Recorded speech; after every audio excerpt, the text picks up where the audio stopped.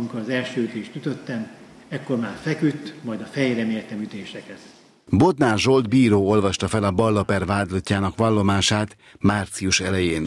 Hasonló gyilkossági ügyeket a múlt évben is tárgyalt a Nyíregyházi törvénycég. Összességében 2015-ben 87.107 ügy érkezett a megyei bíróságokra, 87.820-at fejeztek be, és 31.972 maradt folyamatban.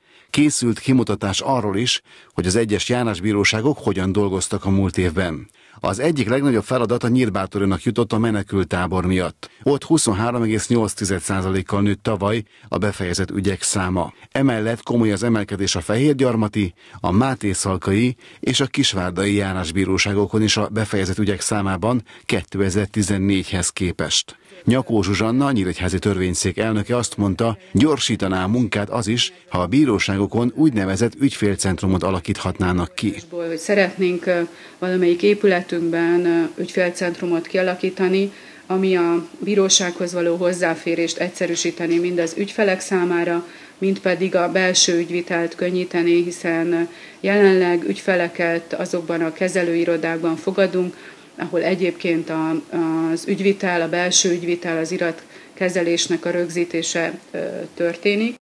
Ez a táblázat azt mutatja, hogy a múlt év márciusában elindított szolgáltató bíróság programban hogyan szerepelt a Nyíregyházi törvényszék. A vizsgált 10 hónap alatt 313-ról 190-re csökkent a két éven túli peres ügyek száma. Ez azt jelenti, hogy 39,3%-kal csökkent a számuk. Az országos átlag 27%.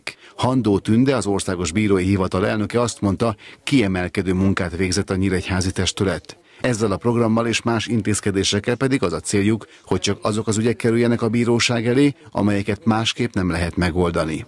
Azt szeretnénk, hogyha a jog az sokkal elérhetőbb és érthető volna az emberek számára, hogy akár még mielőtt a bíróságra jönnek, azelőtt tisztában lennének azzal, hogy mi a kötelességük, és mihez van joguk. Azt gondolom, hogy a társadalmi békét vagy a társadalmi felelősségvállalást így is meg kell tudnia jeleníteni a bíróságnak azon túl, hogy a legfontosabb persze az, hogy az ítélkezés az minőségi és időszerű legyen. A tájékoztatón elhangzott, hogy nem csak mennyiségben, hanem minőségben is kiemelkedő a törvényszék munkája. Erre példa, hogy a hatályon kívül helyezett ítéletek országos átlaga 7% ez a mennyiben 5 százalék.